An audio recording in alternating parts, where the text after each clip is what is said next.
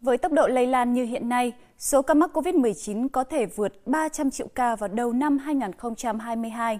Đây là cảnh báo của Tổ chức Y tế Thế giới WHO. Tổng Giám đốc WHO nhấn mạnh số ca mắc COVID-19 trên thế giới đã vượt quá 200 triệu trong tuần vừa qua, có nghĩa là chỉ sau 6 tháng qua, thế giới đã ghi nhận thêm 100 triệu ca. Với tốc độ lây lan hiện nay thì các ca mắc COVID-19 có thể vượt mốc 300 triệu ca vào đầu năm tới. WHO khẳng định thế giới có nhiều công cụ để phòng ngừa, kiểm soát và xử lý COVID-19.